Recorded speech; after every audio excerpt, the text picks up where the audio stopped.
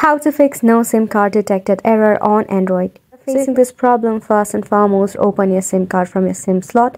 Then make sure that you wipe it off until it is clean and re-enter it once again. Then you can go ahead and open your mobile settings. From there, go to network and internet. Then select the option of SIM card and mobile network at the top.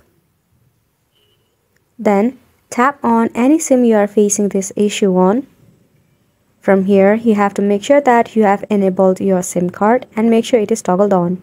Then tap on preferred network type and make sure you have set it on 4G. Then you can go ahead and head back from here.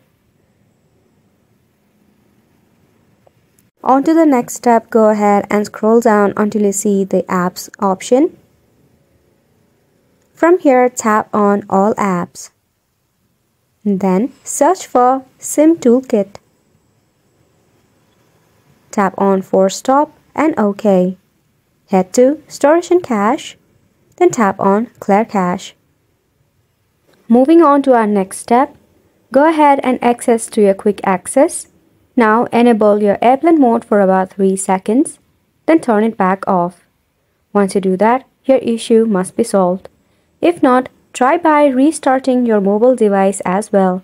Once you do that, your issue of your no SIM card detected must be solved. Make sure to go ahead and give this a try and thank you so much for watching.